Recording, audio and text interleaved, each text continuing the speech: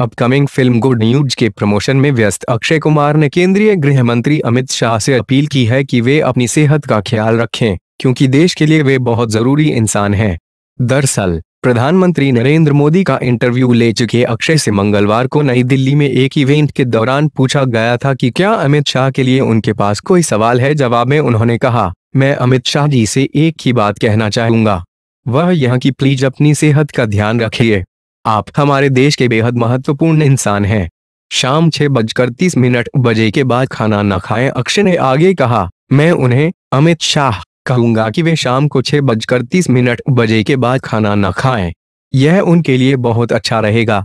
दूसरों के लिए भी यह सलाह लाभकारी हो सकती है।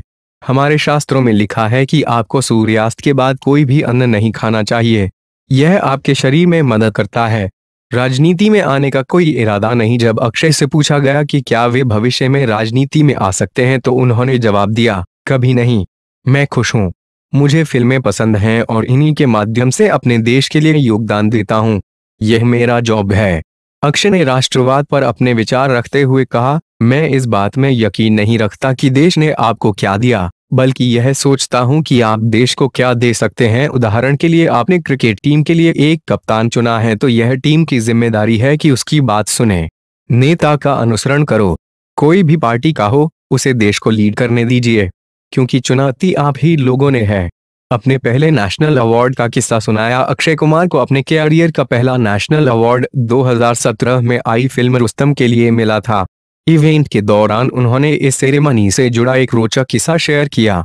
वे कहते हैं, मेरे पहले नेशनल अवार्ड में एक लड़की मेरे बगल में बैठी थी। उसने बताया कि वह मेरी बहुत बड़ी फ़ैन है।